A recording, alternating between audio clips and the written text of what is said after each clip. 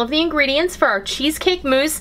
We're gonna use an eight ounce brick of cream cheese that is softened to room temperature, one cup of heavy cream, one half cup of powdered erythritol. This is a powdered sugar erythritol sweetener, but you can use whatever sweetener is your choice. Do you like to use uh, powdered stevia? Do you like to use a stevia erythritol blend or sucralose, aka Splenda? Go ahead and use that, it'll work fine.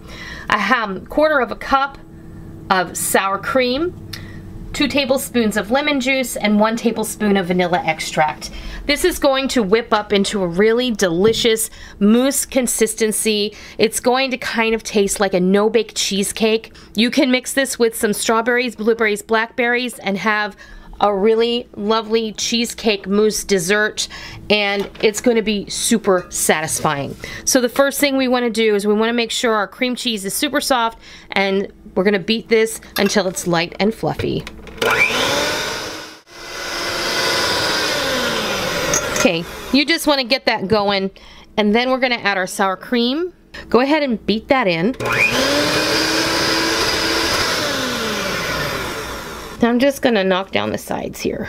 Then we're going to go ahead and add our erythritol, our lemon juice, and our vanilla extract. So go ahead and beat this all together and then we'll move on to the cream.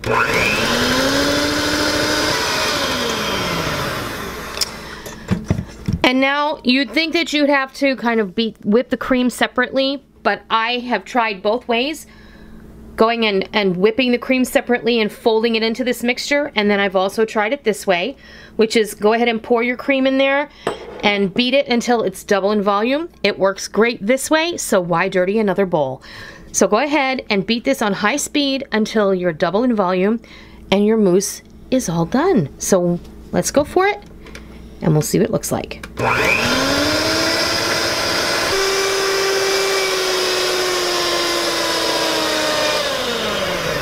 Okay, you'll know when it's ready, when it forms nice soft peaks like that and they stand up. That's when you know your cheesecake mousse is ready to go in the refrigerator.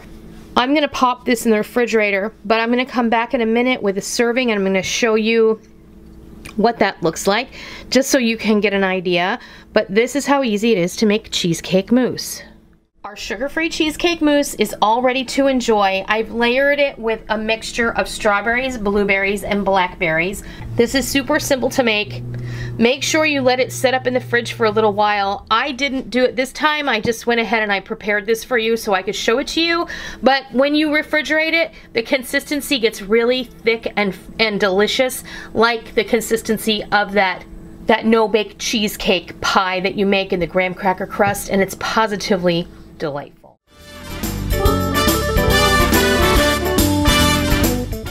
Okay, we're gonna go over all the ingredients for our double chocolate mug cake.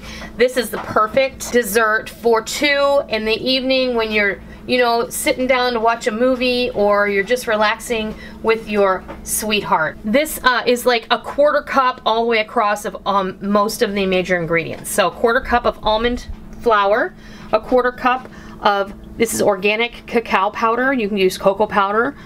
A quarter cup of sweetener. This is erythritol sweetener. It looks exactly like sugar and it tastes exactly like sugar. A quarter cup of melted butter, two eggs, a quarter cup of heavy cream, a tablespoon of vanilla extract, a quarter teaspoon of salt, and two tablespoons of sugar-free chocolate chips. And this is so easy to make. I usually, when I make this in the evening for Rick and I, I you just mix it all up. So you can, I like to mix all the dry ingredients together. Give this a whisk. And then we'll go ahead and we'll do our eggs. And our heavy cream. And we add our vanilla extract. Then I'm going to go ahead and give this a good whisk before we add our butter in there. Now that that's somewhat incorporated, I'm going to add the butter and your batter is all finished. Now we're just going to divide this between two mugs. I also like to use the uh, one cup ramekins that I have on hand. You just divide this evenly. Half goes in there, half goes in here. So I'm going to do uh, half of the chocolate chips in each one. And these are going to just bake right on in there. It's going to be delicious. We're gonna pop these in the microwave and the time is between one and two minutes. It depends on the strength of your microwave. Mine is 1100 watts. So I know that this is gonna take two minutes in my microwave. Now, you're gonna wanna watch this. Your cake is going to rise precariously like it's going to cook over the top, but it's not. And then it's going to fall back down. When it is ready, when the top is no longer moist, or to the touch it's not wet and you can stick a toothpick in there and it's going to be dry in the middle just like the cakes that you bake in the oven.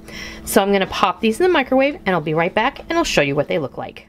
All right, our mug cakes came out of the microwave and they're perfectly done. They don't look that pretty, but you're gonna cover this up with some um, unsweetened whipped cream or some whipped cream that has been sweetened with um, some erythritol and vanilla extract, or in my case, some whipped cream that's been sweetened with sugar-free Torani.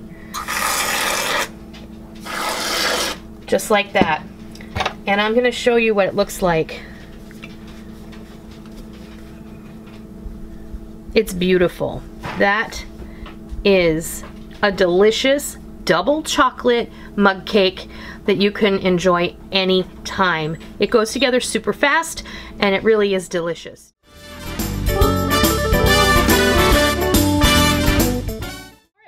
Over all of the ingredients for our cannoli fluff dessert. This is a low carb recipe. This is like the filling in a cannoli without the crispity crunchity outside. And honestly, you're not gonna miss it because really the whole purpose of eating a cannoli, in my opinion, is the creamy filling. So we're gonna start off by softening one eight ounce brick of cream cheese. And then we're gonna use a cup of ricotta cheese. This is a whole milk ricotta. We're gonna need a cup of heavy whipping cream. And we're gonna need one third of a cup of sweetener. Now this is Swerve Confectioner's Erythritol and I'll show you what that looks like. So this is the sweetener I'm using. This is an erythritol sweetener that is powdered like confectioner's sugar, but you can use any kind of sweetener that you like. We have found that we like this one as well. This is the Splenda Naturals. It's a blend of erythritol and stevia. This you can actually get in the grocery store and I highly recommend it. We're gonna flavor this up with some vanilla extract and either some orange extract if you have it, or uh, in my case, I'm gonna be using the Fiore di Sicilia. This is a specialty item. I get it from King Arthur Flour. And I this four ounce bottle is probably, oh, at least eight years old and uh, worth every penny. If you're using the Fiore di Sicilia, you're going to use about an eighth of a teaspoon. If you're using orange extract, you can use a full teaspoon of orange extract. We're going to add about a quarter of a teaspoon of salt. This is fine ground Himalayan pink salt. You can use whatever salt you like. We're gonna top this off with some toasted nuts. I have a combination here of toasted slivered almonds and pistachios. You can use what you like. And since a lot of cannoli has chocolate in it, we're gonna be sprinkling some sugar-free chocolate chips on the top of the fluff. So we're gonna go ahead and get started mixing up our cannoli fluff dessert. All right, first thing you wanna do is go ahead and get your hand mixer out. We're going to go ahead and whip up the cream cheese until it's light and fluffy. Now we're gonna go ahead and add in our ricotta cheese, our sweetener, and our salt, and we're gonna beat that together. All right, now we're gonna put our flavorings in. So there goes our tablespoon of vanilla extract. And I'm gonna be using the Fiore di Sicilia, so I'm gonna use about an eighth of a teaspoon. And what I like to do is have some of it pour right into the, the cap because this is very, very potent and uh, if you put too much in there it just tastes super bitter. This is a combination of vanilla extract and orange oil so that gives you an idea of how potent that can be. And we're gonna go ahead and blend this up. All right now we've beaten together all of our ingredients here. We're gonna set this aside for a moment and I'm gonna go ahead and whip up this heavy cream in a separate bowl. Then we're gonna come back and we're gonna mix everything together and watch the magic happen and create our cannoli fluff. Okay, I got the cream and it's been whipped to stiff peaks. You don't want to go too far with it though because you don't want to turn it into butter. So I'm just to go ahead and pop this in here. And now we're to fold the whipped cream into the cheese mixture.